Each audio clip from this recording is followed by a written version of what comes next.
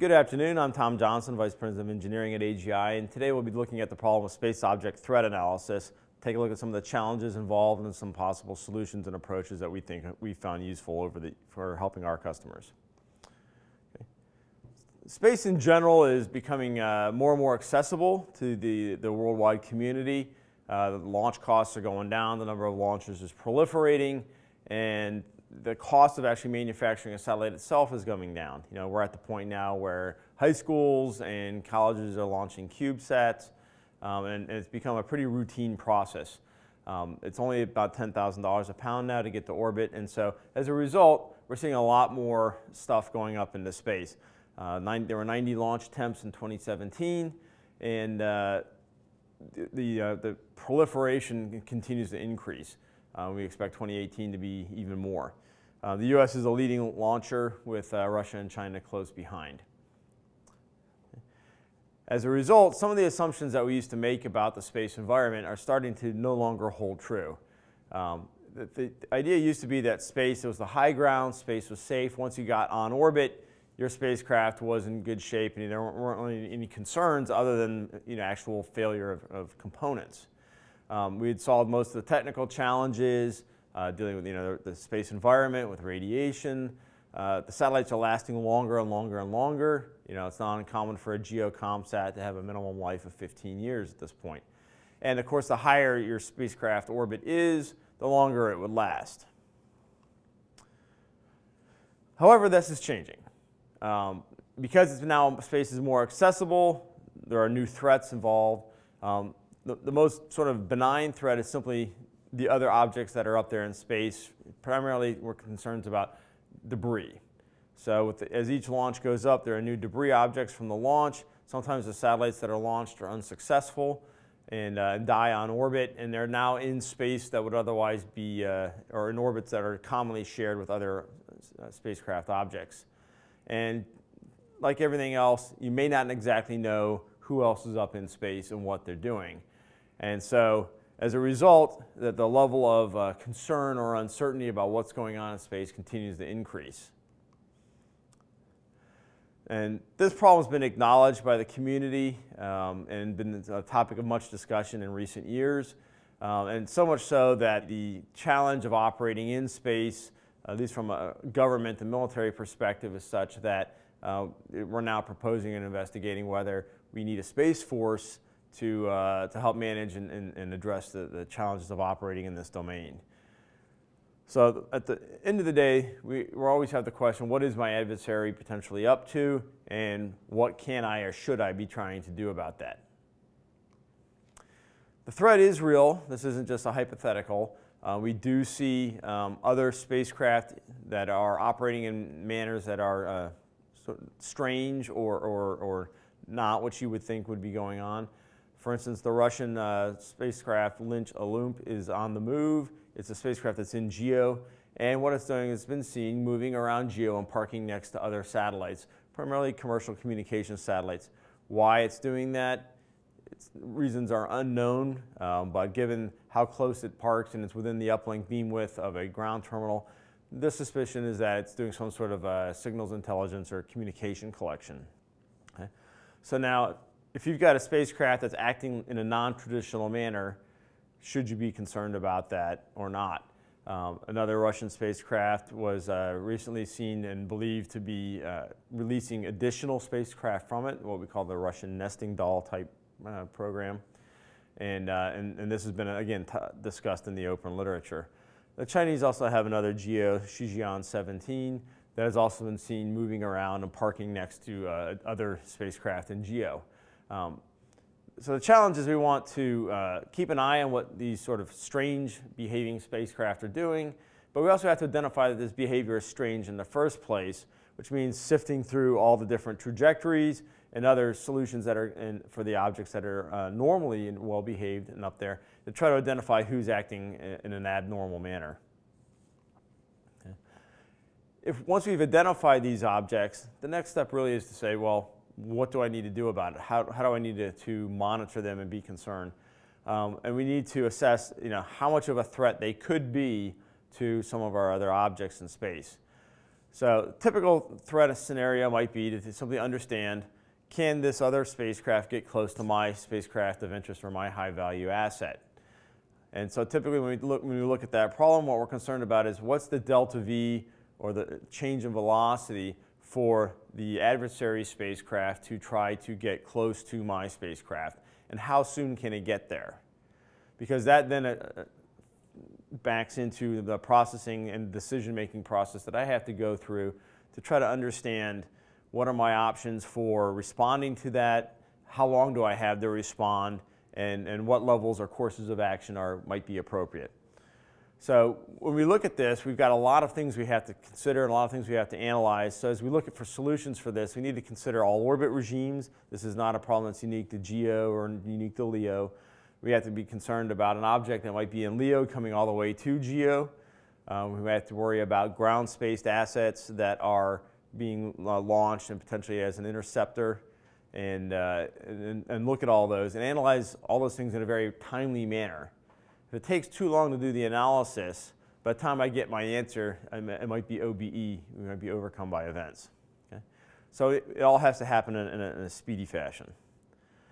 So in response to this, we started building some tools based on the experiences and some of the sim, simula simulations and scenarios that we've been involved in to try to address these problems. And uh, as a result, we built our space object threat analysis tool.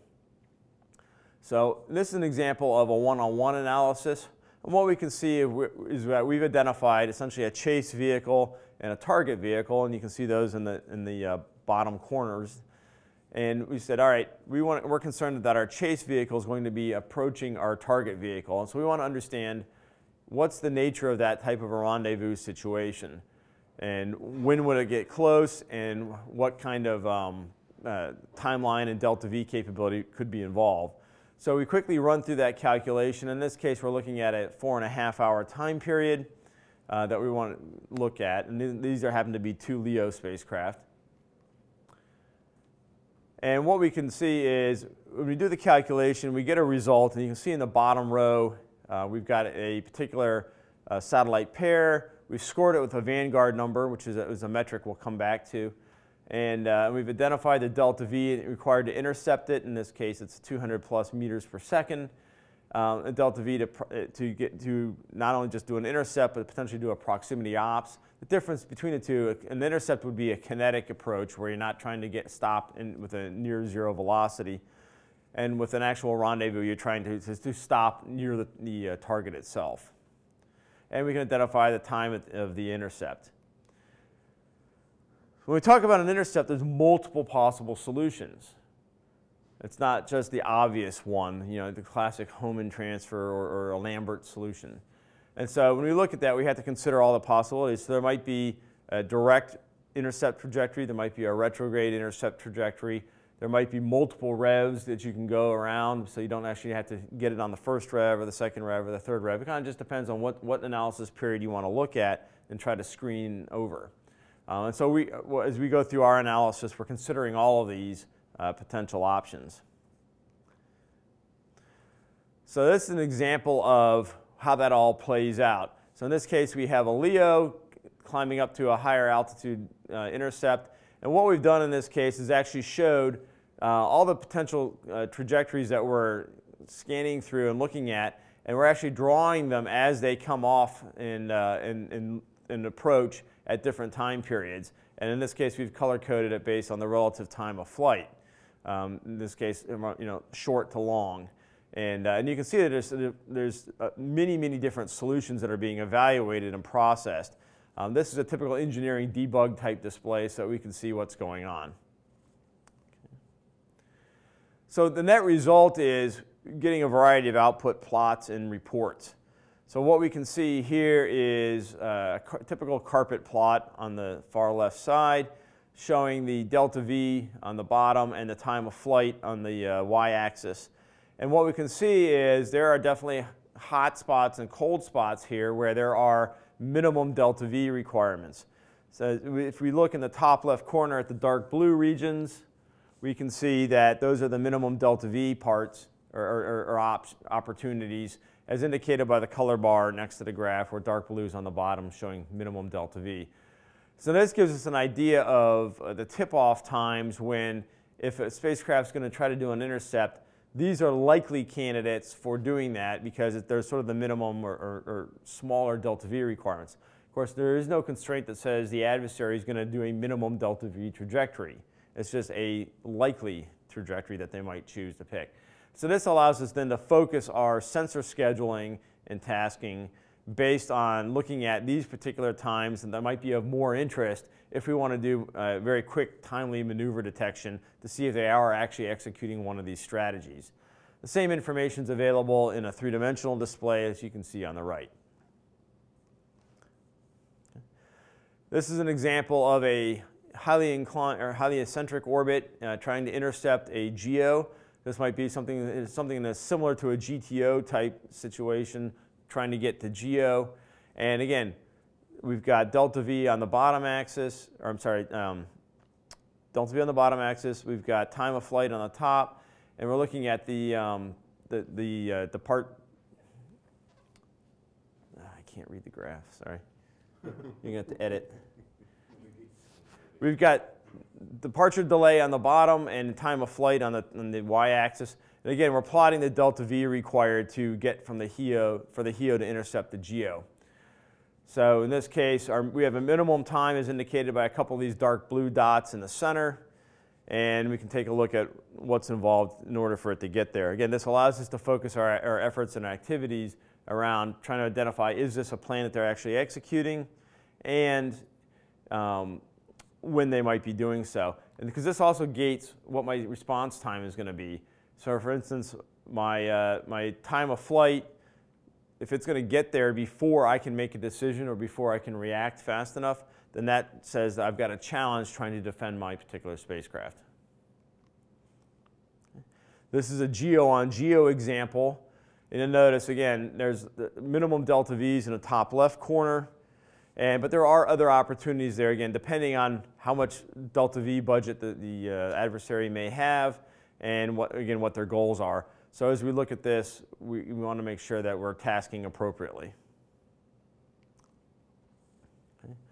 So the net result is, you know, you get the plots out. You also can do, um, you get the reports out. Now, the examples we just looked at were one-on-one. -on -one, but in reality, you're concerned about potentially many-on-many. -many because you may have one or more adversary spacecraft and you may have a whole family of uh, high value assets that you're concerned about. So you don't want to run one on one, you actually want to do N on, on many. Um, and again, you can specify that. So in our case, we've got multiple chase vehicles here in the bottom middle, and we've got multiple target vehicles, and we're trying to do an analysis against all of them. And as a result, you get a whole table of results uh, showing up in the bottom. And what we're identifying here are the minimum delta V times. Um, now, again, these are the likely times when there might be an intercept, um, but there may be other options as we saw from the graph. So the operator can easily dig into any one of these rows and pull up any of the plots that we were looking at to see you know, in more detail what some of the other options might have been. Now, when you start doing mini-on-mini type of analysis, um, you might want to pull up a plot to sort of score for a particular high value asset or a particular adversary what they might be going after. And the way we look at that is we actually can score each particular opportunity for you know one adversary against one high value asset and start to score what, what's the likelihood that we think uh, this adversary might be going after this particular spacecraft. And we came up with a cost function we call the Vanguard number. And the Vanguard, we use the Vanguard number. It reflects essentially the delta V and the time of flight necessary for a particular pair of objects to get close to each other. And you can see a plot of that for a particular uh, adversary spacecraft here, where the Vanguard number is quite low on the bottom left corner, and then it increases rapidly. And this allows us to essentially identify the likely objects that a particular spacecraft may be going after. This is a tool we actually use operationally within our ComSpOC to help understand as a particular spacecraft starts to relocate or do something strange, we're trying to predict ahead where it might be going and potentially uh, any particular satellites that it might be uh, parking, trying to park next to. The most vulnerable ones are in the bottom left. Those are the ones with the lowest score Vanguard number. and then it increases up from there. For future work, um, what we're looking at now is applying these same concepts to the direct ascent ASAT problem, where instead of having an orbiting vehicle on an orbiting vehicle, we're actually looking at a ground launch uh, type of a, a, ASAT and going up to, in this case, we're, we're showing something that's going up to GEO. What makes this a little bit different is that in this case, we're allowing for the fact that that uh, ASAT or that direct ascent may actually have an onboard uh, seeker with its own delta V capability. And so we want to understand as it's going up on a particular trajectory, if that seeker has an additional delta V capability, who could it get to and at what time if it started to fire its thrusters. Um, and so we want to take a look at that and, uh, and, and, assess that. So we're going to actually gonna go back and I'm going to replay that. And what we can see is as the ASAT's rising, uh, we've color coded the longitude range band in GEO for which ones it's, it's able to get to, low threat or high threat. And, uh, and then, of course, as it gets higher up and closer to GEO, the number of points that it can reach starts to shrink because the, it has a limited delta V capability and it has less time to actually use that.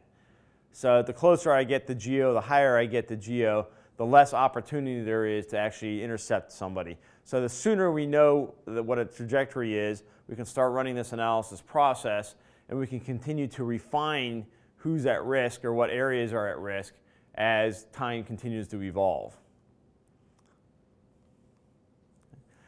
This is essentially a two-dimensional plot of what you just saw in three dimensions.